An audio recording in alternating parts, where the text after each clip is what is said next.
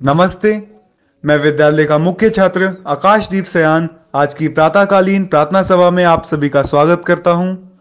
आज नवंबर माह की 21 तारीख, दिन सोमवार है। भविष्य में भी आपको विद्यालय संबंधित अनेक जानकारियाँ मिलती रहे, इसके लिए हमारे विद्यालय के YouTube चैनल को लाइक एवं सब्सक्राइब अवश्य करें। सर्वप्रथम आज के पंचांग की जानकारी के लिए मैं हमारे संस्कृत अध्यापक आचार्य सुनील दत्त गौतम जी से निवेदन करता हूँ। नमस्ते, सर। नमस्ते, आकाश। आज के पंचांग के अनुसार विक्रमी संवत दो हज़ार अठहत्तर, शक संवत 1943 आज मार्गशीर्ष माह के कृष्ण पक्ष की तृतीया तिथि है। अर्थात मासिक गणेश चतुर्थी का व्रत कल है।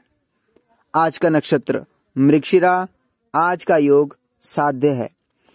प्रविष्टि की यदि बात करें तो आज मार्क्सिस माह के सातवें प्रविष्टे घटित हो रहे हैं। मुस्लिम माह रवि उल्सानी की आज 16 तारीख है। धन्यवाद। धन्यवाद सर। अब समय है आज की प्रातःकालीन प्रार्थना का। तो आइए मिलकर प्रार्थना करते हैं। All classes be ready for Gayatri Mantra.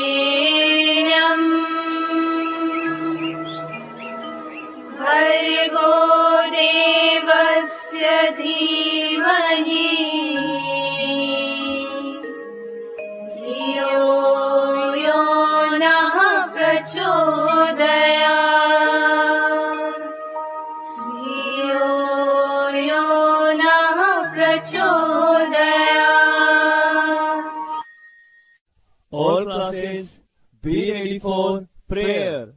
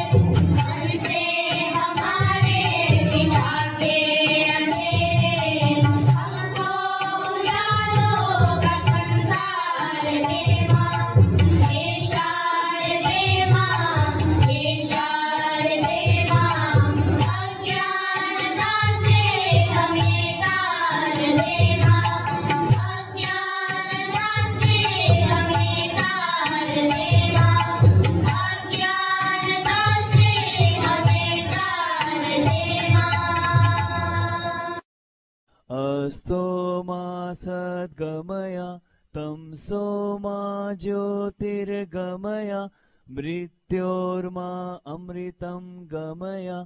ॐ शान्ति शान्ति शान्ति be ready for national anthem. जनगण मन अधिनायक जय हे भारत भाग्य विधाता पंजाब सिंध गुजरात मराठा उत्कल बंगा विंध्य हिमाचल यमुना गंगा उच्चल जलधि तरंगा तव शुभ नामे जागे तव शुभ आशीष मांगे गाहे तव जय गाथा। जन गण मंगलदायक जय हे भारत भाग्य विधाता। जय हे जय हे जय हे। जय जय जय जय हे। भारत माता की जय। भारत माता की जय। भारत माता की जय।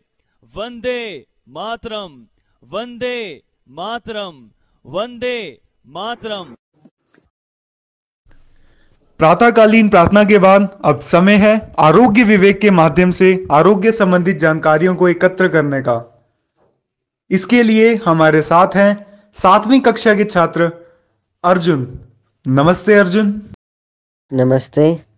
आदरणीय प्रधानाचार्य जी प्रधानाचार्य जी, अभिभावकगण, एवं मेरे प्रिय साथियों, मैं अर्जुन, कक्षा सातवीं अ का छात्र। आज आप सबके समक्ष मधुमक्खी के डंक मारने पर किए जाने वाली प्राथमिक चिकित्सा बताने जा रहा हूँ। आइए जानते हैं। मधुमक्खियाँ दूसरे कीट नुकसान पहुँचाने के लिए नहीं, बल्कि आत्मरक्षा में डंक मारते हैं या काटते हैं। मधुमक्खी के डंक में जहर होता है, जिसे शरीर में संक्रमण हो जाता है। मधुमक्खी का शहर जितना ही मीठा होता हो, उससे अधिक घातक होता है। मधुमक्खी अगर डंक मार दे तो उस जगह पर सूजन आ जाती है। साथ ही साथ बहुत तेज़ दर्द शुरू हो जाता है। हालाँकि हर किसी में अलग अलग लक्षण दिखाई देते हैं। कुछ लोगों को तेज़ दर्द होता है तो कुछ को केवल प्रभावित जगह पर सूजन आ जाती है। कुछ को वो जगह लाल पड़ जाती है। मधुमक्खी के डंक का असर या तो कुछ घंटे या एक दो दिन तक रहता है। आप चाहें तो मधुमक्खी के डंक का इलाज घर पर ही कर सकते हैं, अगर स्थिति बहुत ख़राब ना हुई हो तो। इन उपायों का अपनाने से राहत मिलेगी। सबसे पहले मधुमक्खी के डंक को जितनी जल्दी हो सके निकाल लें। डंक जितनी जल्दी निकलेगा, उतनी ही जल्दी जहर का असर कम हो जाएगा। वरना शरीर में जहर फैलने का खतरा बढ़ जाएगा। डंक निकालने के बाद उस जगह पर एंटीसेप्टिक साबुन और साफ़ कर लीजिए। उसके बाद संभावित जगह पर पहुंचकर कोई एंटीसेप्टिक क्रीम लगा लीजिए। बर्फ़ लगाएँ। प्रभावित जगह पर बर्फ़ लगाने से कई तरह की परेशानियों और लक्षणों से राहत मिल जाएगी। बेकिंग सोडा रहेगा फ़ायदेमंद। बेकिंग सोडा अल्कलाइन होता है, जो कि जहर के असर को कम कर देने में मदद करता है। बेकिंग सोडा लगाने से दर्द, खुजली और सूजन में राहत हो जाती है। मधुमक्खी काट लेने पर शहद का इस्तेमाल करना भी बहुत फ़ायदेमंद रहता है। ये जहर को फैलने नहीं देता और इसका एंटीबैक्टीरियल गुण संक्रमण बढ़ने नहीं देता। सफ़ेद टूथपेस्ट लगाने से भी डंक के दर्द में राहत मिलती है। ये जहर अम्लीय प्रभाव को कम करता है। इसके इस्तेमाल से दर्द सूजन में राहत मिलती है। धन्यवाद। आपका दिन मंगलमय हो। धन्यवाद, अर्जुन। अब समय है हिंदी के शब्द एवं वाक्य को जानने का। इसके लिए हमारे साथ हैं आठवीं कक्षा के छात्र आर्यन। नमस्ते, आर्यन शर्मा। नमस्ते, मेरा नाम आर्यन शर्मा है। मैं आठवीं अ कक्षा का छात्र हूँ। आज का शब्द है वेदना। यह एक संज्ञा शब्द है, जिसका लिंग है स्त्रीलिंग। इसका अर्थ है एक ऐसा मनोभाव जो अत्यधिक मानसिक और शारीरिक पीड़ा के कारण उत्पन्न होता है। इसके पर्यायवाची शब्द हैं पीड़ा, व्यथा, कष्ट। इसका विलोम शब्द है आनंद। आज आज का वाक्य है, मुंशी प्रेमचंद की रचनाओं में ग्रामीण जीवन की वेदना झलकती है। धन्यवाद, आर्यन। अब समय है जन्म दिवस वाले छात्रों को जन्म दिवस की शुभकामनाएँ देने का। कल अर्पिता कुमारी, चौथी अ, मोहित भारद्वाज, सातवीं अ, दिव्या भारती, दसवीं ब, नवरूप कौर, बारहवीं। आज ईशदीप कौर, तीसरी अ दक्ष आठवीं अ शुभम। का जन्मदिन है। तो आइए मिलकर जन्म दिवस वाले छात्रों को जन्म दिवस के अवसर पर गाए जाने वाले गीत गाकर शुभकामनाएँ देते हैं।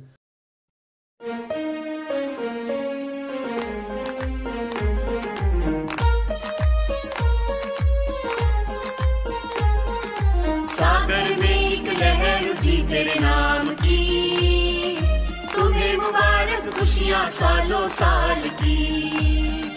सागर में एक लहर उठी तेरे नाम की। तुम्हें मुबारक खुशियाँ सालों साल की। तुमको है जीवन में बढ़ते ही जाना। तुमको है जीवन में बढ़ते ही जाना। तुम हो सुंदर बूंद सुंदर बूंद उसके नाम की। Happy birthday to you happy birthday to you happy birthday to you happy birthday